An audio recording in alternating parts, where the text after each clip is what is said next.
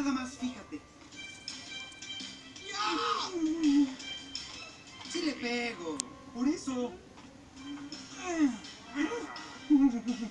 Sí le pego. ¿Queremos ver? Sí le pego. Se aprovechan de mi nobleza.